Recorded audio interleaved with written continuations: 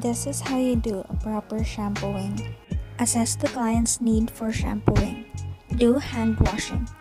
Gather the necessary materials to be used.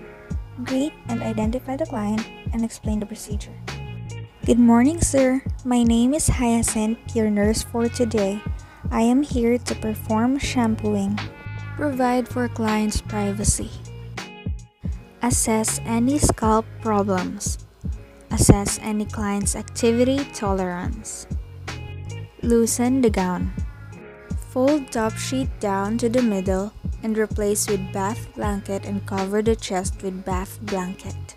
Remove pillow and lean client's head close to the edge of the bed by placing him diagonally across the bed. Place the rubber sheet under the client's head and shoulders.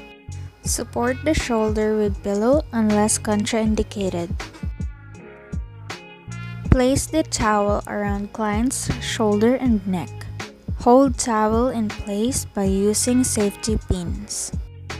Arrange Kelly pad under the client's head so that when you pour the water, it will go through the pail. Cover the eyes of client by placing a folded face towel. Plug ears with cotton balls. Check the water temperature. Put on clean gloves. Advise the client that you are about to pour water on his hair. Wet hair thoroughly. Put a small amount of shampoo in your palm and make a lather and start shampooing while massaging the client's scalp using the finger pads. Rinse the hair thoroughly. Squeeze as much water as possible out of hair with your hand. Remove the Kelly pad and drop to the pail. Cover the hair with towel line across the client's chest.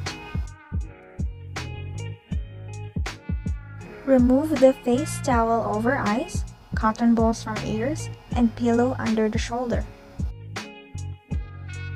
Dry the hair, ears, and neck. Remove gloves.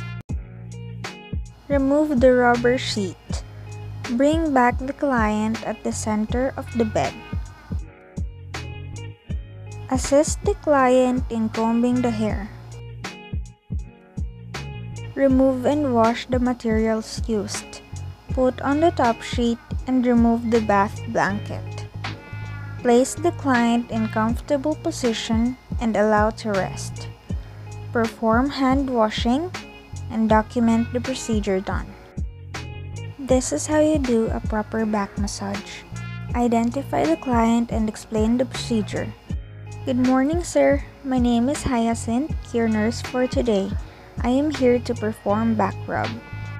Move client close to the side of the bed. Position the client in prone position if possible. Pull top covers down below buttocks. Pour a small amount of powder into your hands and rub palms together. First, we are going to perform effleurage.